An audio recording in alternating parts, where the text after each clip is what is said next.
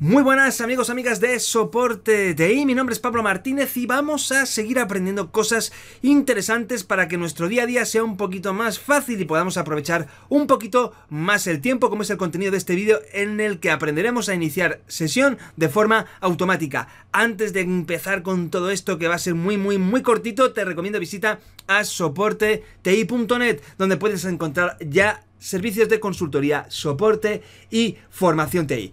Bien, con Windows 6 Internals tenemos una herramienta, yo voy a ir abriendo la máquina virtual, voy a ir abriendo un explorador, tenemos una pequeña utilidad que nos va a permitir iniciar sesión de forma automática. Evidentemente para un entorno en producción esto no se debe de utilizar, pero sí cuando estamos trabajando, por ejemplo, pues con eh, laboratorios, como es mi caso, yo ahora pues estoy preparando unos laboratorios para hacer unos, unos vídeos que quiero tratar de sacar en el día, y claro, pues bueno, estoy eh, actualizando el equipo, estoy, eh, bueno, pues como veis, dándole pues un poquito forma, ¿no? Pues ahora empiezo a actualizar, lo reinicio, instalo un servicio, lo vuelvo a reiniciar, estoy reiniciando prácticamente cada minuto. Entonces, claro, tener que estar escribiendo la contraseña para que el equipo inicie sesión y tal, bueno, pues termina siendo un poquito pesado. ¿Qué voy a hacer? Bueno, pues nada, lo que voy a hacer es abrirme aquí un Google, por ejemplo, un Bing. Vamos a ver si con un Bing tenemos suerte. Va, bing.com puede ser.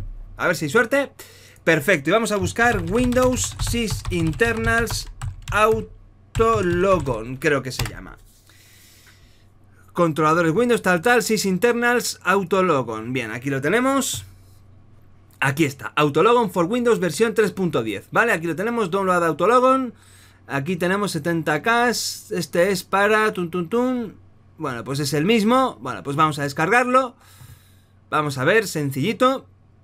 Es una aplicación muy fácil, muy sencilla, pero bueno, yo quiero mostrarosla y quiero que veáis, eh, bueno, pues que realmente nos puede ayudar a ahorrar algo de tiempo, ¿vale? Vamos a ponerlo aquí en descargas, autologon, guardar, pum pum, bien, abrir carpeta, aquí está, vamos a, bueno, yo lo que voy a hacer es abrirlo, voy a copiarlo, todo el contenido, y ahora aquí voy a crear una carpetita que se llame Autologon, y esto lo movemos aquí, y lo que he copiado, ¿vale? Reintentar, ah, vale, no se puede, ¿por qué? Porque acabo de mover el zip, ¿vale? Como lo acabo de mover, pues ahora no me deja.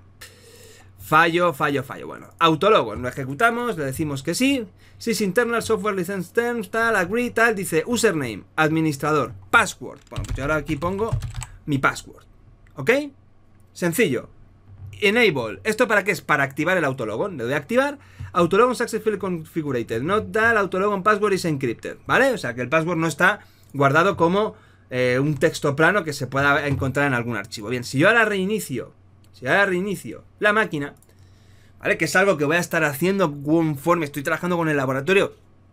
Cada minuto, como digo, instala actualizaciones, hay que reiniciar. Em, eh, cargo un servicio, hago un cambio, hago un tal. Reinicio, reinicio, reinicio. ¿Qué pasa? Que al final, pues sí pierdes mucho tiempo poniendo al usuario la contraseña. Oye, tenemos una aplicación que está avalada por Microsoft que nos permite tener el autologon yo insisto y repito, no lo recomiendo y, lo prohibiría para entornos de producción, pero sí cuando estamos trabajando con estos laboratorios y queremos, bueno, pues ahorrarnos un poquito de tiempo.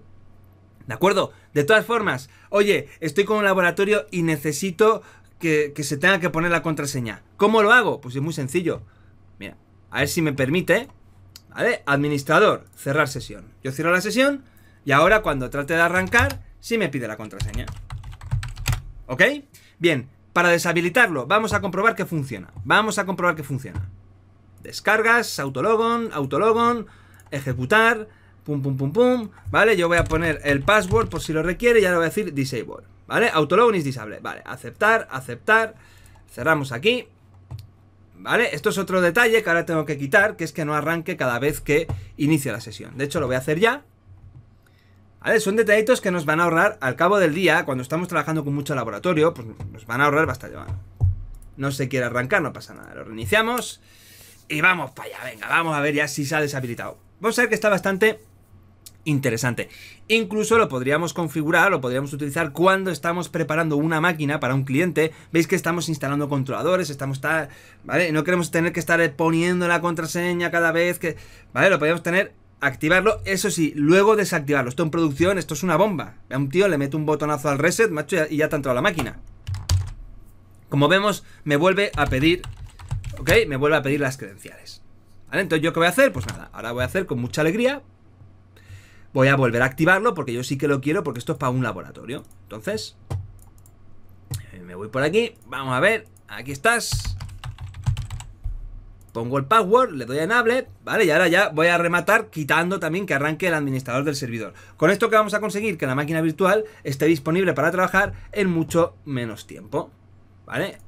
Vamos a administrar, a ver si me permites. Terminas de actualizarte.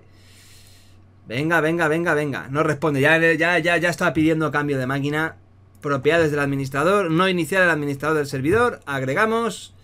Y aquí tenemos ya nuestro autologon para habilitar, deshabilitar el inicio automático de sesión, ya sabéis, con un usuario y una contraseña, ¿de acuerdo? Que lo hacemos en dominio, también lo podemos utilizar, ya lo estoy probando, pero, repito, insisto, no lo recomiendo, no lo recomiendo para entornos de producción. Puede ser un problema de seguridad bastante, bastante importante.